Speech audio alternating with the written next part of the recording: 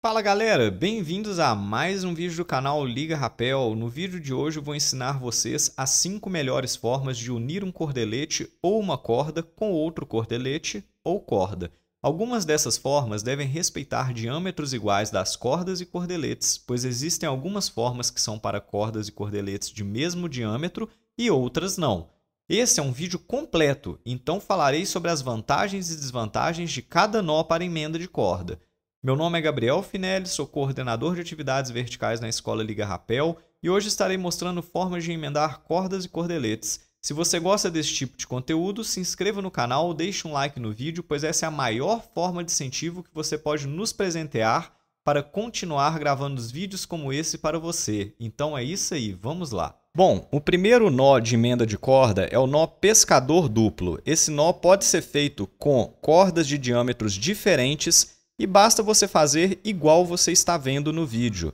Se você fizer este nó corretamente, a sua corda ela ficará extremamente travada e a emenda será altamente funcional, mas deve ser feito exatamente igual você está vendo no vídeo.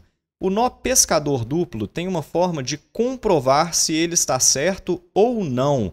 Então, após você fazer ele com as duas pontas de corda, você vai ajustar e depois você verá se ficou com um X de um lado, veja, dois xizinhos de um lado e paralelo do outro. Se estiver certo, seu nó está certo.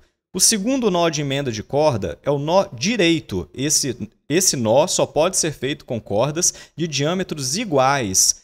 Faça ele igual você vê no vídeo e depois você deve arrematá-lo, pois ele é um nó que tem a facilidade de ficar muito frouxo. Para fazer o arremate, você faz uma azelha com a ponta da corda abraçando a corda que você está emendando.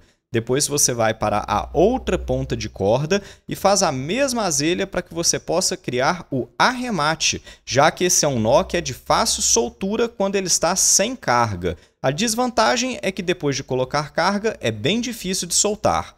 O próximo nó ele pode ser feito com cordas de diâmetros diferentes. Esse é o nó escolta dupla ou escota duplo. Você vai pegar uma corda, fazer uma alça, com a outra ponta de corda você vai passar por dentro da alça e por trás das duas cordas, fazendo desta forma, uma voltinha, depois duas voltinhas, depois você deve ajustar a sua escolta dupla, ajusta bem todo o nó para não se soltar. E esse é um nó que você pode fazer com cordas de diâmetros diferentes. E é isso aí, galera, um nó bem fácil de fazer. O próximo nó é o 8 duplo guiado pela ponta, nó de emenda de corda com 8 duplo. Primeiro você vai fazer um nó 8 duplo, ó, um 8 simples na sua corda, com uma corda só, com a ponta de corda, e depois você vai vir costurando esse 8 com a outra ponta de corda.